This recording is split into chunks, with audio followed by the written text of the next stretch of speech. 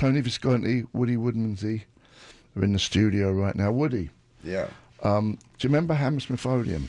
I do. yes, infamously. You say you heard about what I used to get up to? Oh no, what? After the first show, I went in there and stole a bunch of your gear. You didn't, I did. did you? What did you steal? Well, I'm, I'm making an amends to you right now. Oh yeah, good. Is that what the water is? No, Oh, okay. I, ne- I think I think I took a couple of your mics. What I did was no, not mics, cymbals. Did you Sorry. really? Did, you didn't know that? No, I didn't know So that. someone must have. Were they your drums? yeah, How much? I, I need to make amends to you. How much was a couple of cymbals? um, hundred and fifty thousand. Get out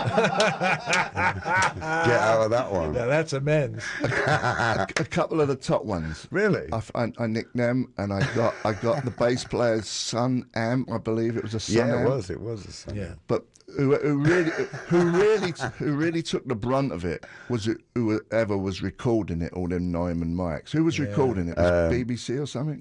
Yeah, the BBC were there, and probably Robin Mayhew as well. Our sound man was running it through the desk. How did you manage to do that? Because I knew that place like the back of my hand. I, I was from Hammersmith. Yeah. And I was like the uh, Phantom of the Opera in that place. Oh wow! and uh, they did two nights. Don't get me wrong, I was a massive Bowie Spiders fan. Yeah. And if I really liked you, I'd nick some gear off you. Oh, that's a compliment then. I'll take it as a compliment. And and It, it's a British thing, right? I, for, well, for me, it was If I like you, I steal from you. I like that. I like that. after after yeah. the first uh, night. I so I came back there. I saw the show. I came back about two in the morning. They had some bloke in the third row, like all the gear was still set up. I didn't know what anything was, mics or anything. I didn't know anything. Yeah. All I just knew is that I got to have some of this stuff because I was a massive fan. Yeah. And I snuck in there. I knew a way to get in there. I had a minivan that I nicked. I pulled it up round the side. I got in there. I waited for this bloke to fall a kit in like the third row. He was catching flies. So when I sneaked, sneaked on, that's when I got a couple of cymbals, the Sunn amp, the mic, got Bowie's mic with his lipstick on, this li- little Electro-Voice. Yeah. I can't believe you don't know about No, that. I didn't know. Yeah. But, I uh, know, you know, some gear went missing through the tours and whatever, but I never knew quite Yeah. where and what went missing. Yeah. So how much? Amazing. What can I do to make it right? How much is a couple of cymbals? I'm serious. Back then, probably, I don't know. How much do you want for a couple of cymbals right now? oh, $10. No, for real. For real? Yeah. Ooh, I don't know, $100. For the two? Yeah. I'll give you hundred bucks each. That's cool. I'll have that. Is that good? Yeah. Okay. Wow. I like, I like, I like this, this, is really kind of going trading. down. It's good. I this always is thought I was, actually happening, folks. I can report this from my seat. I always There's thought I was a salesman. 200. He peeled off 200 Look at from his wallet. Sorry. Thank you very much. Not- don't take it personally. I was just doing it because I was a massive fan. That's cool, man. Oh my gosh! I thought I'd never see that. That's true. I have $200. You're a gent. yeah, and I was thinking about that all day, all, all night f- to, to do that. You know, Yeah. cleaning up my act. Was that the one that was filmed by Pennebaker? That Yes. Yeah. Yes, so I was. mixed that album, and we were missing cymbal mics and cymbals.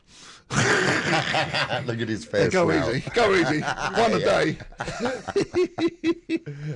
don't remember. Let's. Uh, what we we play music. Sure. Let's play. Uh, this is your band. Was it after, straight after U Boat? Yeah, about maybe a couple of years after. I'd done the Spiders thing with Trevor on bass, and we put a band together, did an album, and toured a little bit, and then um, decided to put my own band together, basically. Who So- was the singer? A guy called Phil Murray from Newcastle, Yeah. and um, Did Yeah. you did you have fun? Was it kind of weird doing it after being in the Spiders for so long? it was very weird. It was. Um, You're not going to top the Spiders. Well, you've always got that in your mind. Yeah. Do you know what I mean? Um, you kind of got that as a yardstick to judge it against. And, I think I and it's very it. hard to get near that, Yeah. Yeah. Yeah. to be honest. I think, I think I saw you at the Marquee. Did you? Did yeah, you we actually. Yeah, we actually got a residency there. Yes, yeah. two- which, which was nobody else got a residency. I don't actually know how we got one, but Yeah. we did. It's good. Good job you didn't do two nights in a row there. I would have had your cymbals. well, let's let's play this. Uh, this is U Boat and it's called U Boat, right? Yeah. And uh, we're here with Tony Visconti, Woody Woodmansey. They're playing tonight at the Wiltern as Holy Holy, where they do all Bowie covers. Should be good fun. Um, take it away.